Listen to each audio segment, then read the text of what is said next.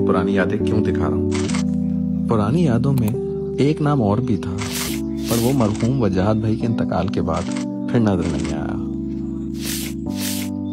बहुत कम लोग ये बात जानते होंगे कि इस फार्म की एसोसिएशन वजाहत भाई के साथ साथ एक और लेजेंड के साथ भी थी। जो आज भी अपना शौक चीपा कटल के साथ पूरा कर भी रहे हैं और करवा भी रहे हैं। शौक में बहुत सारे नाम ऐसे गुजरे हैं जो शायद आज गुमनाम से हो गए हैं। पर आज भी जब आप जारी कटल का नाम गूगल करेंगे तो आपको अजीम भाई का काम नज़र आ जाएगा।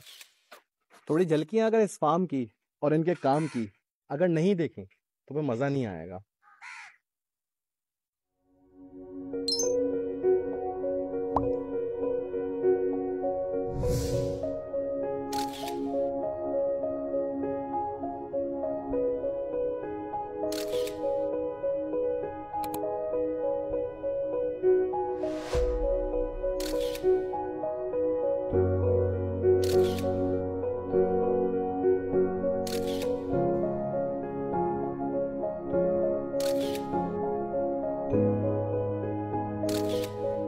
कम लोग ऐसे होते हैं जो अपने काम से ताल्लुक को बरकरार रख पाते हैं।